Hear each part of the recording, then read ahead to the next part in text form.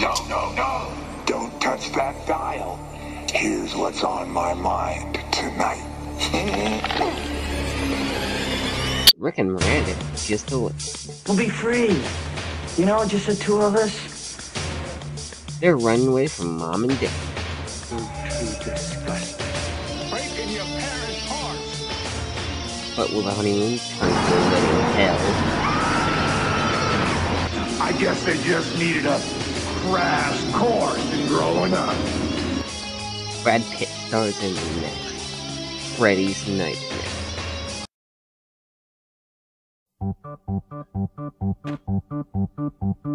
Happy, happy Halloween, Halloween, Halloween, happy, happy Halloween, silver shamrock. Happy, happy Halloween, Halloween, Halloween, happy, happy Halloween, silver shamrock. Happy, happy Halloween, Halloween,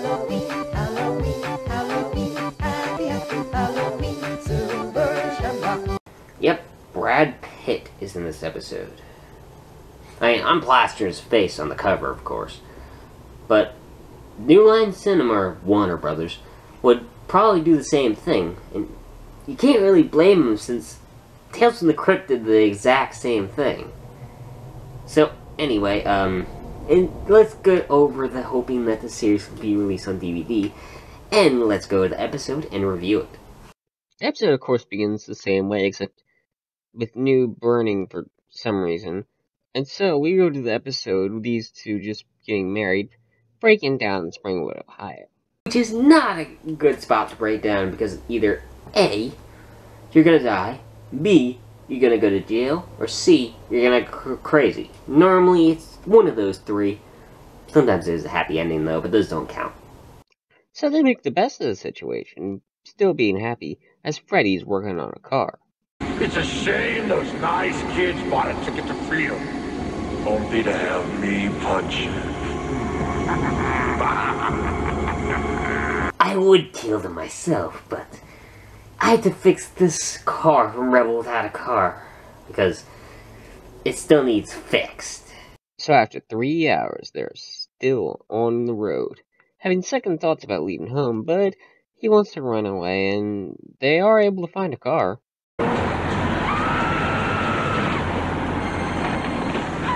Only problem is they just ran over Brad Pitt. Yeah, they're gonna get sued. And so finally someone is there to help.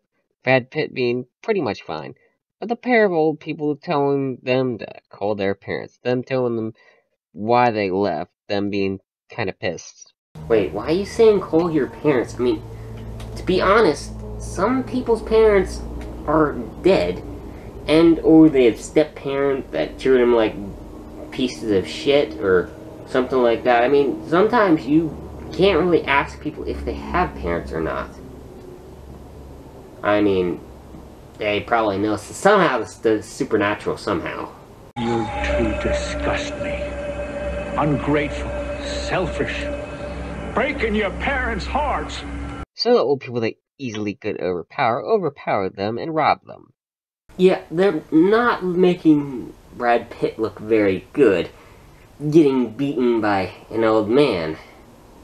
Yeah, I do realize that he just got ran over, but he's not limping or anything. He's completely fine. Hell, I don't even see a scratch on him. I mean, that might be from the quality, but still, they're kind of not making him look badass.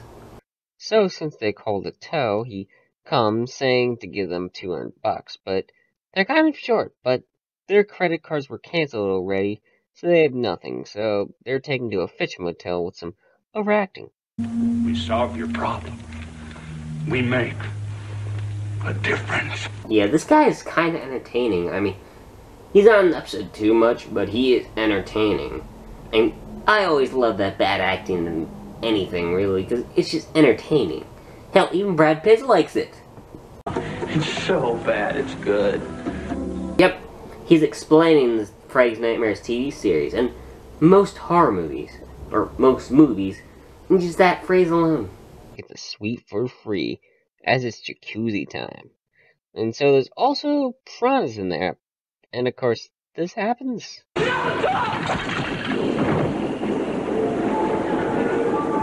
real world doesn't stick it to you. They're probably just a you lie. The fuck? Did I just see a chubby fat kid use an arrow and shoot it into Brad Pitt's leg?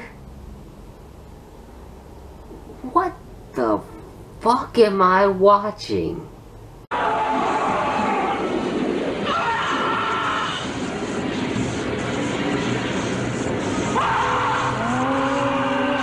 But everything was just a dream, but she's getting in the sauna, the lock breaking, and when he goes to fix it, the cops come for some reason to arrest him. You guys heard that, right? You should clearly be able to hear those screams.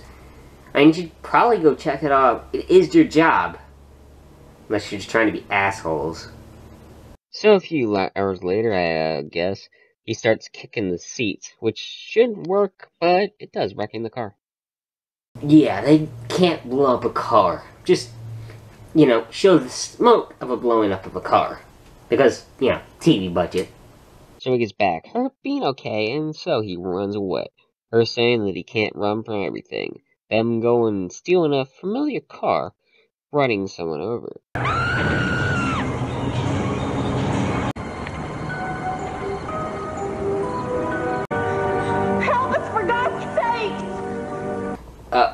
Um, well, I guess Brad Pitt can't sue anybody now since he ran over himself? Not even I can make sense of that.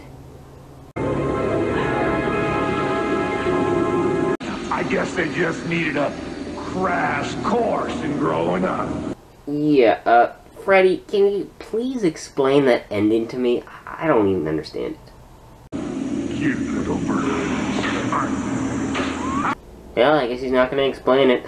Go to the second half. And so the second half begins with Cuckoo! Cuckoo! Real cuckoo! Okay, I think I found the second funniest part of the Freddy's Nightmare series. But first is still Rapmaster Freddy.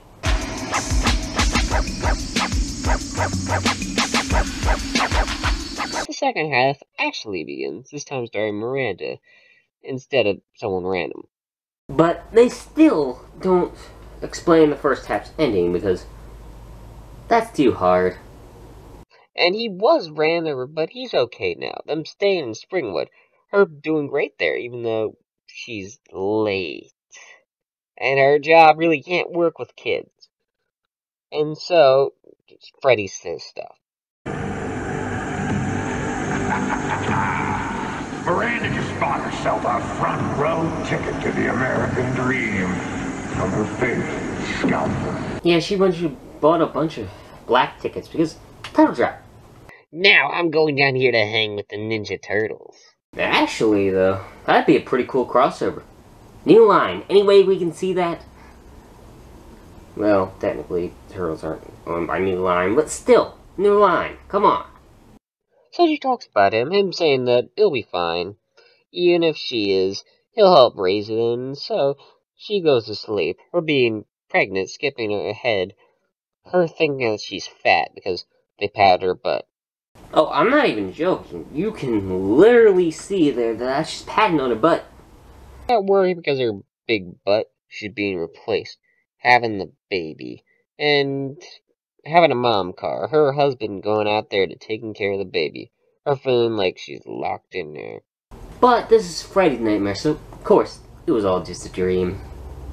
So she just tries to take a test for it. But she takes a nap, waking up to some more overacting. Motherhood takes commitment. Motherhood takes guts. I don't think you have what it takes.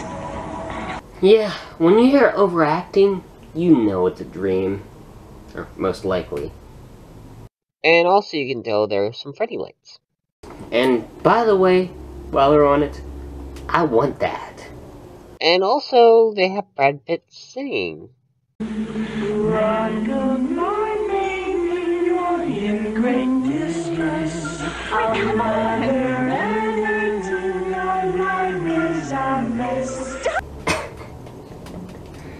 You have Brad Pitt singing a goddamn lullaby. And you already had him get beat his ass by a fucking old man. Yeah, you have him singing a fucking lullaby. Your life is now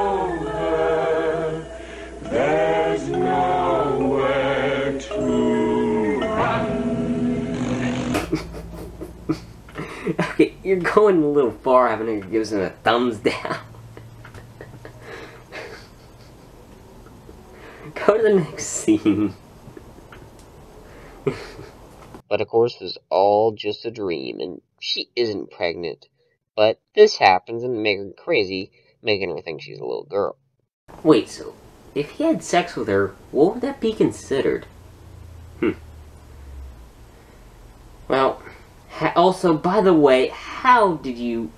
How did that happen when you fell like that? I mean, maybe you could have broken your neck, but you're not gonna go crazy over that. Hell, I think I've fallen worse than that and been completely fine.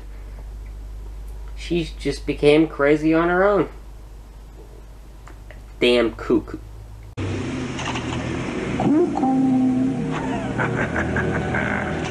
cuckoo. Episode one, not my favorite. If you like Brad Pitt, you'll enjoy it, especially if you want to see him sing. Yeah, that alone made the episode worth it. And both are fine. The first half about running away, and the second half being about having a baby, and how that can be scary. And even though both halves are different, I do like to see the same characters in both halves because, you know, they makes them feel like the same episode. And hell, even the acting is decent enough. Brad Pitt is, I guess, pretty good, and Miranda's okay too. And there's some fun overacting. The only problem I do have with both halves is the ending. The first half isn't explained. The second half just ends with her as a kid, but the episode is still good, and you probably do want to see Brad Pitt sing a lullaby. This episode, I think you'll enjoy it, and I suggest you go check it out.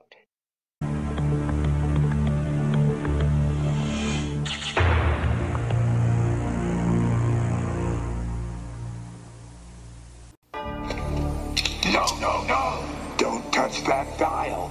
Here's what's on my mind tonight. Steven isn't doing very well at Springwood High. As in failure. Can't fit in. We're going to have to take some drastic action. Can he get out of school or Freddy keep teaching him a lesson?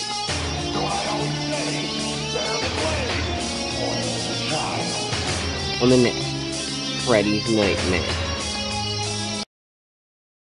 So the episode begins with a kid in a limo with hot girls, but of course, this was not real, it was just a daydream. In real life, he's getting yelled at because he's a squeaky wheel at school. And so he meets up with his friends and gets an F for creativity. The assignment was to make a table. Uh, yes, sir, but if everyone made tables, there'd be nothing to put on them. F. As in failure. And to be honest, even in creativity, he'd get an F. Because, first of all, if that's clearly in the table, but second off, that just looks like he made in like five minutes and half-assed. I mean, seriously, it doesn't look like there's much ever put into that. So he says he has to go to the principal's office for nothing, and This time I'm sending Steve to the principal's office for a little higher education. you know what I always say? Spare the blade, spoil the child. Well, good for you. I don't got no jokes for that. Next scene. so he of course falls asleep. And he's called in, it's because he doesn't fit into the system, and is different than everybody else. So they're gonna have him arrested for him finding more rebels like him. Them telling him that they should be able to find themselves. Hey, uh, dude, you do realize you can drop out, right? I mean, it's not a good thing to drop out, but you could technically. And they have this guy tied up down there, them singing schools out. No more school. No more books. No more teachers' dirty looks. Oh, I see. You just want to sing School's Out because, you know, it is a good song. Plus, Alice Cooper. We all know The Man Behind the Mask is a great song. Chew me, eat me, you can't beat me. Chew me, eat me, you can't beat me. Oh no, don't don't play that. I don't want to get that shit stuck in my head. And so he decides to let them go, them run off. But of course this was all just a dream, but he's still in the dream, everyone now being robots, including him who was a rebel robot, but again, this was all a dream. And it turns out they really didn't want him. So that dream was all kind of for nothing. Great.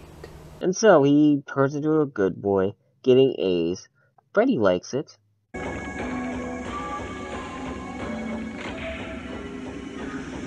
that's how you break somebody's spirit. Yeah, so the message in the episode isn't done very right, and it could be that there just isn't a message, but I'm pretty positive there is, and the message pretty much is don't conform and be yourself. But in the, in the episode, he conforms and just gets brainwashed into another person. Yeah, that's not a very good message if you're trying to make it a message.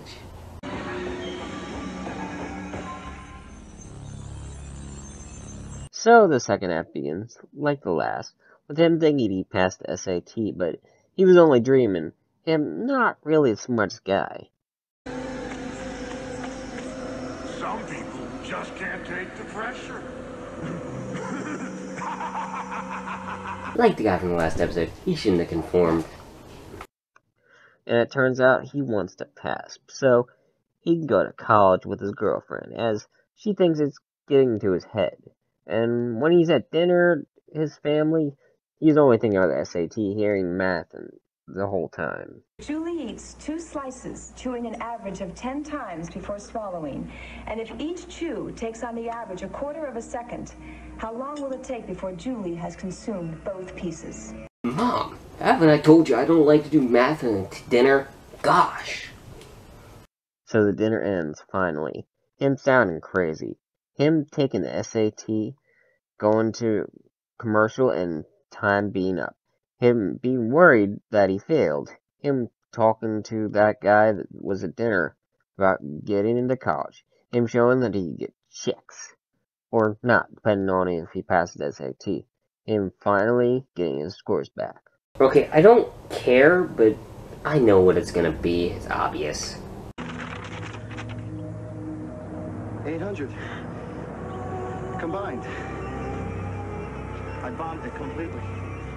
Yep, but there's an end of the world. But I kind of wish it was the end of the episode. So they all disown him because he failed. Her being with this new guy, him being a janitor, now not wanting to be around him, him accidentally breaking equipment, and his father about to die, but he didn't pass SAT, so they won't keep him on life support. And because he didn't get paid, they pulled the plug. But it was all just a dream. And he did good.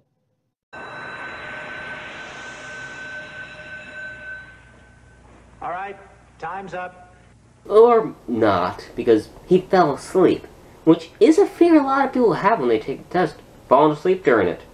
But since he fell asleep, he can't take it again until next year.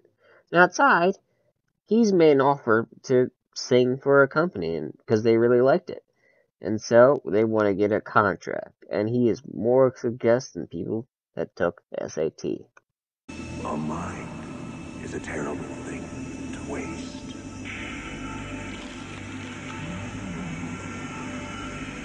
Yep, Freddy's one of those kids that just likes to bite his toys. But that actually looks a little good, actually. Can I have a bite?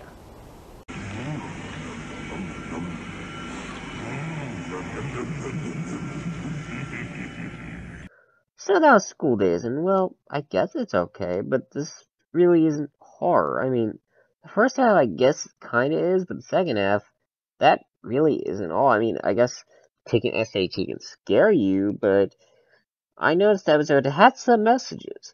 The first one being to be yourself, even though by end he conforms to be everyone else, which makes it not as good. The second half being that failing one test won't ruin your life. And there's other ways to get success, which is better, but you know, these the first half I did notice that it doesn't really work because the ending, but Oh well. I mean, the episode isn't bad. I mean, I wouldn't suggest you'd skip it. I don't think. I you can go check it out. You can watch it. I don't care. It's enjoyable enough that you can watch it. It's not bad at all. You won't be bored. It's okay. Alright, so the next episode is supposed to be actually directed by Robert Englund. Robert, you better make it good. You better. It better not be a piece of shit episode. Well, hopefully you can do something good. Let's hope. It's time for our boy to face the music with Rapmaster. Ready?